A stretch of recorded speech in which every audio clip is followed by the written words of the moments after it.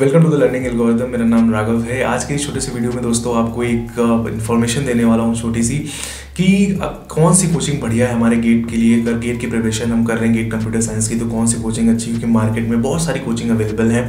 आपको भी पता होंगी बहुत सारी बट होता है ना कि बच्चों के मन में डाउट होता है डाउट होता है कि क्या भाई ये कोचिंग अच्छी है? क्या अन अकेडमी अच्छी है? क्या पीडब्ल्यू अच्छी है? क्या मेड ईजी अच्छी है? या ऑफलाइन जाना चाहिए हमें, या फिर ऑनलाइन लेना चाहिए? बहुत सारे डाउट होते हैं बच्चों के मन में। तो मैं कुछ डाउट आपके यहाँ पे अगर आप ध्यान से सुनोगे वीडियो को तो शायद कुछ आपके डाउट जो है वो क्लियर हो सके। सबसे पहली बात, आपको किसी कोचिंग स्पेसिफिक नहीं होना चाहिए कि भाई हमें ये कोचिंग जाना है, वहाँ का बहुत सारे गलती बच्चे ये करते हैं कि भाई वहाँ देखो I R one I I R two I rank खरीदी भी जाती है, ठीक है? सबसे पहली बात माइंड में डाल लो।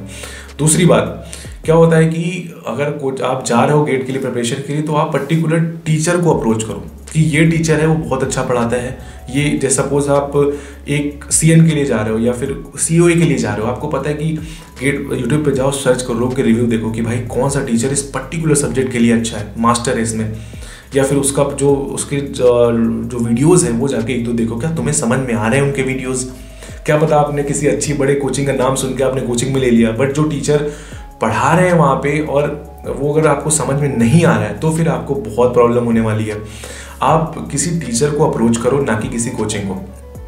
आप उनके वीडियोस देखो कि अगर उनके वीडियो पसंद आ रहे हैं सपोज़ आपने कोई एक्स टीचर लिया, उसके यूट्यूब पे आपने वीडियो देखे, उसके पसंद आ रहे हैं, आपने देखा कि हाँ वो अच्छा पढ़ा रहा है, उसका हुआ हमें समझ में आ रहा है, और वो उस सब्जेक्ट में मास्टर है, या फिर उस सब्जेक्ट में वो जमाने से वो पढ़ाते चले आ रहे हैं उस सब्जेक्ट को, और बहुत अच्छे हैं, और लोगों ने रिव्यू भी दिए कि आप एक्स टीचर से पढ़ो, वो इस पर्टिकुलर सब्जेक्ट में बहुत अच्छे हैं। है ना? तो आप उस, और वो जो एक्स टीचर है, वो किसी भी कोचिंग में एडमिशन ले रहे कोचिंग किसी कोचिंग की, किसी कोचिंग में वो फैकल्टी हैं। तो वहाँ जाके आप उस कोचिंग में एडमिशन ले सकते हो। पहली बात। दूसरी बात, आप क्या करना है आपको?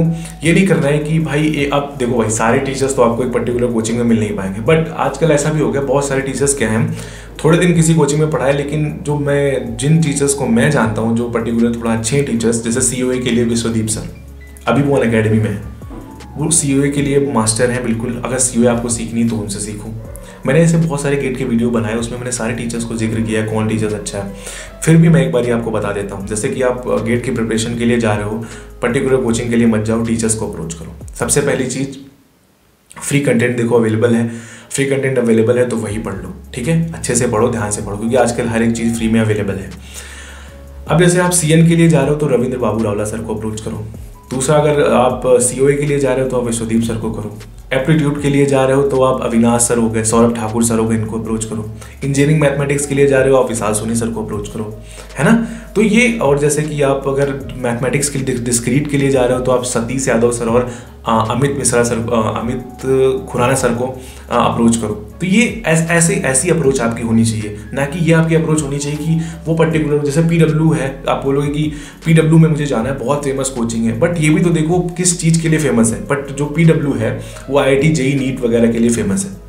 गेट के लिए उन्होंने अभी मुश्किल से एक या दो साल उन्हें हुआ है स्टार्ट करते हुए। है ना? तो आपको ये अप्रोच एक पर्टिकुलर टीचर के लिए होनी चाहिए कि हाँ भाई, ये टीचर अच्छा पढ़ाता है, हमें इससे पढ़ना चाहिए। ये मास्टर है अपने सब्जेक्ट में और उसका एक्सपीरियंस है इतने सालों से पढ़ा जैसे रविंद्र बाबू रावला सर जमाना हो गया उन्हें पढ़ाते पढ़ाते। दस साल हो गए, दस साल से ज़्यादा ही हो गए पढ़ाते पढ़ाते। विश्वदीप सर आठ, दस साल हो गए। सौरभ ठाकुर सर आठ साल हो गए। विशाल सोनी सर क्या रैंक है उनकी एस में? आप देखो क्या इंजीनियरिंग मैथमेटिक्स पढ़ाते हैं। Discrete mathematics Amit Khurana sir उनकी एक बार आप प्लीज़ जाके देखो, क्या पढ़ाया उन्होंने। ऐसा ऐसा टीचर्स देखो, क्या उन्हें क्या पढ़ाते हैं, क्या उनकी स्पेशलाइजेशन है, कैसा क्या अच्छा पढ़ाते हैं, कितने, कितना एक्सपीरियंस है उनको? ऐसे अप्रोच करो अगर आप गेट की प्रिपरेशन करना स्टार्ट कर रहे हो। किसी के बहकावे में मत आओ, किसी की पर्टिकुलर मैं ये नहीं कह रहा हूँ, कोई भी पर्टिकुलर कोचिंग को नहीं कह रहा हूँ कि ये पर्टिकुलर कोचिंग खराब है।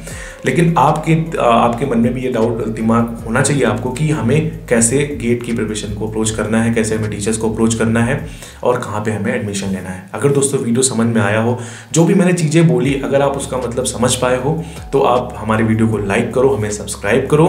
तब तक के लिए दोस्तों, धन्यवाद।